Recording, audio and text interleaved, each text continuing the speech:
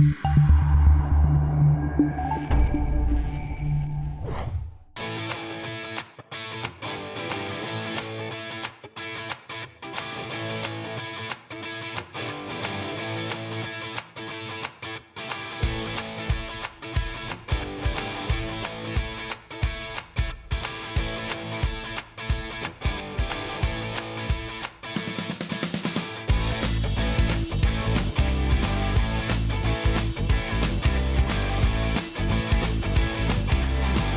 Hello, my name is Lowell Vanderpool, and this channel is dedicated to IT students, IT professionals, and anyone who enjoys learning technical subjects. So, we're at day four, and if you're with me at day four, I'm really pleased because it tells me you're very serious about your learning, very serious about gaining fundamentals, and I'm actually so pleased that you're here with me at day four. We've got a lot to learn. My career tip for day four is don't burn bridges. Don't do something in the workplace that you will regret and could impact you negatively for years and years. Don't be fooled. The workplace can be very stressful, and life in general can bring lots of trauma to you throughout your workplace time. I've been in the workplace over 42 years, and I know how difficult it is. And there are seasons and times in your life that tremendous pressure can come on you from your boss is micromanaging, coworker, you're just having a lot of conflict. You could be going through a divorce. You could have family problems. You could have health issues. You could have so many other things that are just crushing you. You can make really bad mistakes in the workplace. Walk out and just walk off the job. Blow up on somebody in the workplace, say things that you can't take back, no matter what you say, are going to impact you for a long time. There are times when you need help in the workplace. This is not the time when you want to think, I can work it out myself. Because in general, that's not going to happen. Get some help. Don't go to a 25 year old. They just don't have enough work experience nor life experience. Is there somebody in your workplace that's got family, seems stable, seems to be, has some wisdom? Go talk to them. Does your, does your job have an employee assistance program? Get a counselor Find some help. You need help when you're in those pressure cooker environments of life where you're stressed and you are in a fog of emotion. It happens to everybody. There's no one exempt. You need to get some help. There are times you may need to go see an employment lawyer. If you feel like you're getting in a legal issue in the job, don't hesitate to seek out a lawyer. If it's just personal stuff, go find a church. Many pastors deal with family issues every day, and a lot of times they can give you some really good wisdom. Now, just like I have done these few days of helping you understand Windows applications, I've already done the same thing doing it the same way for the operating system. I did a four part series with notes and slides. I'll show you each of those videos in a minute. I use Process Explorer, Process Monitor, and many other system internal tools. I explore how Windows is structured, scheduler algorithms. We're going to look at critical processes. So check out this four part series and be sure to download the notes and slides for these videos. Start with Windows 10 architecture, unlocking troubleshooting secrets. Next, you'll want to go to Windows 10 Critical Processes and Virtualization Security. The third one is Windows 10 Learn about ARMS, Windows Memory Usage, and Hyper-V. And then finally, we're going to go into Advanced Memory Diagnostics and Troubleshooting. So in these four videos, I actually take you further into Process Explorer. I explain more of what Process Explorer can do for you, but it's related to the operating system rather than applications and processes. As always, I'm very careful about my sources. In this case, one of my resources is the book by Mark Russinovich and Aaron Margosis. It's troubleshooting with the Windows System internal tools. Here are the ISBNs. It's the second edition. If you want a great book on understanding system internal tools, you want this one. All right, let's get back to Process Explorer and we're going to look at metrics because Process Explorer has many metrics and we need to understand what they mean and how to apply them. i go a little deeper into Process Explorer. In the columns up here, when we go to the columns, right, select and add columns, we have tabs, process network, process disk, and here we can see how a process impacts network, how the process impacts a disk, how it impacts memory. And in each of these tabs is just all of these metrics that are very difficult to understand. So let's take some time, learn them, and see how we can use them for troubleshooting and many other ways of analyzing our software. Let's start with the left-hand column.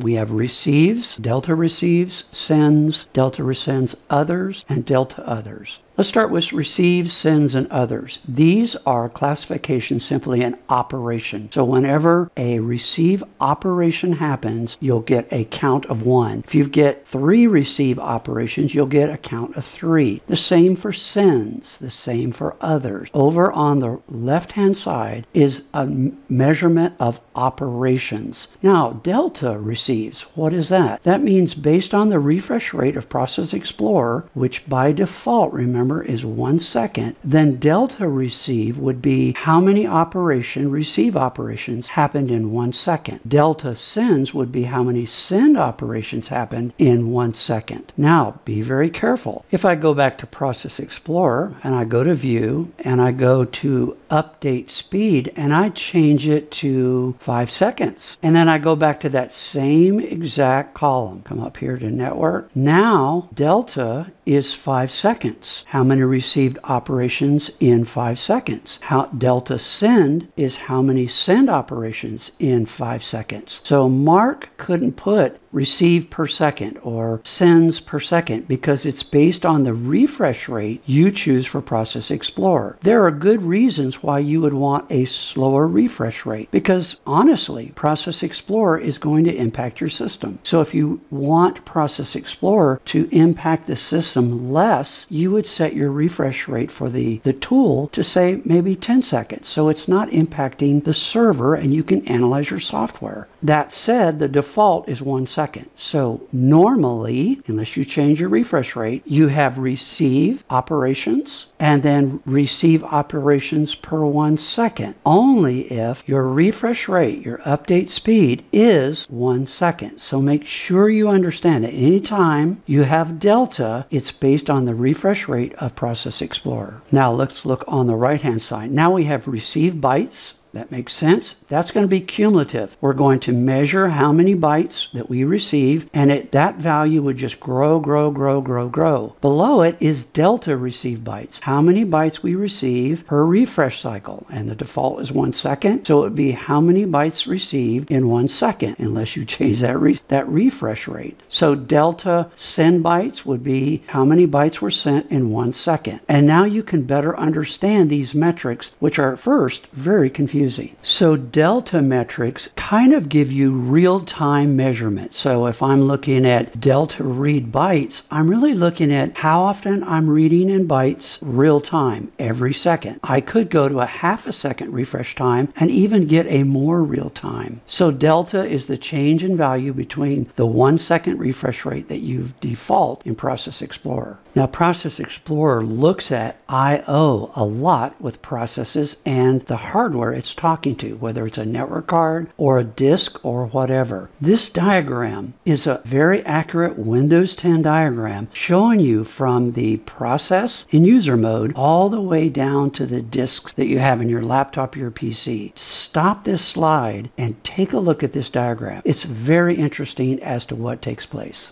Now, back to Process Explorer and refresh rates. It's very important that anytime we look at a delta metric, it's based on the refresh rate of Process Explorer. So if I'm looking at receive bytes delta, it could be bytes per half a second. It could be bytes per second. It could be bytes per two seconds. So remember, the refresh rate in Process Explorer impacts the delta metric. Now, here's an example where the delta metric is so important. There's two ways that Process Explorer allows us to look at context switch. Now remember, context switch is when we take the threads of our process and we execute them. Here are two great ways of looking at this activity, but every time we take our threads to the scheduler and they get executed, it's called called a context switch. I've selected columns. I'm in the Process Performance tab. Go down here on the left at the bottom and you'll see two metrics. One is called Context Switch and one is called Context Switch Delta. Now, Context Switch is cumulative. In other words, every time your threads come up to the, the CPU and are executed, it's going to measure that. It's going to say, okay, they got executed. And over time, as many times as your threads were executed, it's going to have that value 5,000 times, 10,000 times. If you leave Process Explorer running all day, it's going to show you how many times that process was executed in the CPU over the entire workday. Look at Context Switch Delta. That's going to tell you how many times your threads were executed per second. That's going to be a real time view of what's really happening to that process and that CPU. So look at my diagram over on the left and you'll see context switch. I've got it in the column. That's just measuring what's happening right now and it's cumulative. The longer I leave Process Explorer running, if they're getting executed, that value will tend, tend to go up. On Right beside it, I've got context switch delta. Now look at CPU usage. I've got two processes highlighted, system and svchost.exe. Look at CPU usage. They're both 0.01% CPU usage, which tells you, according to CPU utilization, they're using the CPU exactly the same. But go over to context switch delta. Big difference. System had 354 threads executed in one second. SVC host had 78 threads executed in one second. There's a big difference between these two processes. Context switch delta is the most accurate CPU usage that you can use with Process Explorer. If you remember in our last lesson, you were assigned to a small group of IT pros and you were assessing a software package your company was thinking about buying. I showed you a couple things, metrics that you could use, and you could send those metrics to your boss to give him some idea of the impact. But what I didn't show you was networking, and I said I would. Well, here we are. So here's your networking metrics, and we want to assess that software to see what's its network impact on the client. So which one of those would you choose to send that value to your supervisor. So if you chose these three, receive bytes, send bytes, and other bytes, you are correct because we really want a cumulative value of all the network traffic in bytes over the course of a day. That would be a great value to send to your supervisor. So I have another troubleshooting network performance problem. If I'm trying to determine which process is impacting the network real time, which metric would you choose? If you chose delta receive bytes, delta send bytes, and delta other bytes, you were correct. But actually, if you chose delta total bytes, you chose the best answer because it would take less space on your console and it would still give you the values that you wanted. So if you did that, you're doing good. So I'm going to launch Edge in just a minute, but I'm going to go ahead and set up my columns. I'm going to put receive bytes, delta receive bytes, which is going to give me that real time, send bytes, and delta send bytes. And I'm going to say okay, and then I'm going to get them set up on my display. All right, so I slid things over so we can look at network traffic, and then I'm going to launch Edge. Edge will generate lots of junky network traffic. So let's slide down here to look at Edge and we can begin to see right away. But we're really not done here. We want to start sorting. If I want to look at who's impacting the most, I, can, I need to sort and come up here and then I can see who is pulling the most network traffic over a long period of time. So over here, I've got my delta. Let me sort that one. And now I can see real time who of all the processes right now per second is accessing the network real time. So it gives me more of a real time value. Whereas network receive, when I sort that, it's giving me cumulative over time. I can see what process has pulled the most amount of traffic over time. So keep in mind, although you add these columns and now you understand better what they are. Make sure you do your sorting so you can see the results that you're looking for. An important feature of Process Explorer is the mouse over tips. Let's look. Mark, when he wrote Process Explorer, he built these mouse over tips. So let me click on my process. You can see it everywhere my mouse goes, it drops down information at specific places in Process Explorer. Here I can actually see the most amazing command line with switches and arguments to blow your brains away. This is actually part of the widget infrastructure and you can see the command line is quite extensive. Here I'm actually hovering over a service and it actually shows me the services that are actually be running by that generic SVC host file or process. You can come over here and see all the command line and path for each process. This is really, really handy. They're called mouse over tips. If I launch my system information, which is a graphical view, I can take my mouse over and it actually will show me that spike in I.O. was what process and what process ID. Also, if I go to CPU, it can show me who caused that green spike in CPU usage. I can see it's Process Explorer. So there, there's a wonderful array of helpful mouse tips in Process Explorer. Get out there and drive around a little bit and see. You've probably been wondering why I haven't shared much information about Process Hacker. The reason is once you learn Process Explorer well, it's a real easy move to go to this other tool, this open source tool we can come to Process Hacker under View, the View option, and you can see its refresh interval. So you can choose the same speeds that we saw in Process Explorer. You can do that also in Process Hacker. Now, the metrics that are available in Process Hacker are very similar to Process Explorer. We can come up to the columns, right mouse click and choose a column. The, the way it's displayed is different, but if you look at the list of metrics that are available to put in your console, they're very similar to what you saw in Process Explorer. So there's not a lot of change here. Actually, Mark has more features in Process Explorer and Process Hacker. Process Hacker has a very nice graphical display. Notice I'm at I.O. and look down here. Everything listed here is delta and over here is totals. So here we can see the cumulative me metrics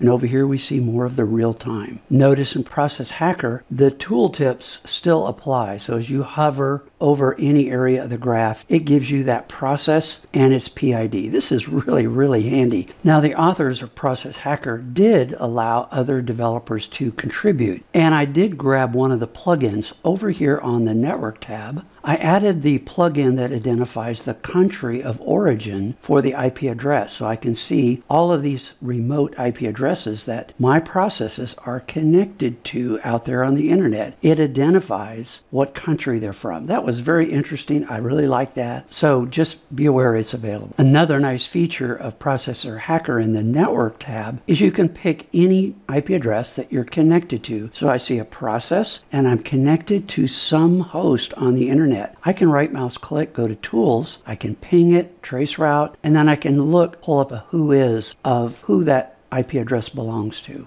back to Process Explorer, one option you really want to make sure you check because if you're analyzing, say, your server and you're spending some time really looking at maybe a service or an application or whatever, it's real easy to get two Process Explorers running and not even realize it. So one, under the options, you can you can come over here and check, and it says allow only one instance. Many applications do not allow you to run two copies of the same application. That's called two instances. This particular tool allows you to check that box so that only one instance of Process Explorer can run at a time. Now there is some help in Process Explorer. If you go to help, you can hit that and it pulls up a, sometimes you can just walk through it. It gives you some general information. It's not as extensive as the book, but it's helpful. Now I will be coming back using these same tools. I'll be using Autoruns from sysinternals. I'll be using Process Explorer and I will show you how to use these tools to remove, detect malware, viruses, any kind of unwanted code. These are powerful tools to do that. But I will keep that separate, a separate set of lectures. You'll see that coming soon.